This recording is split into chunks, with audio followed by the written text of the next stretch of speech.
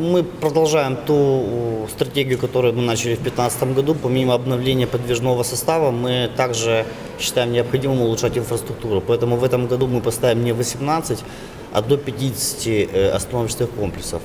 В этом году мы их ставим в основном в тех местах, где были демонтированы управлением торговли незаконные мафы.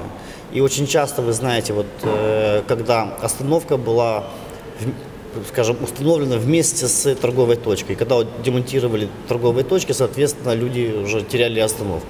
Поэтому прежде всего мы в этом году будем устанавливать те остановочные комплексы, где либо их вообще не было, либо был демонтаж вместе с остановками. Общее количество, как я уже сказал, до 50 э, остановок.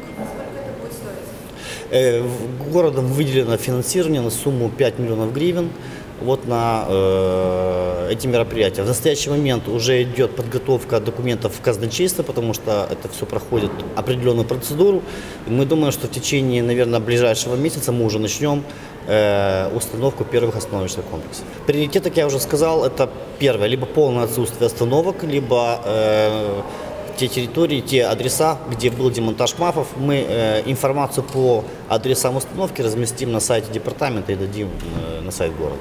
В прошлом году мы приняли решение делать комплексно, то есть мы провели большую работу по Фонтанской дороге, где никогда не было остановочных комплексов, э, в частности по ходу следования маршрута 18-го. В этом году мы, опять же, исходя из того, что большая идет работа по демонтажу МАФов, мы будем ставить там, где будет демонтаж.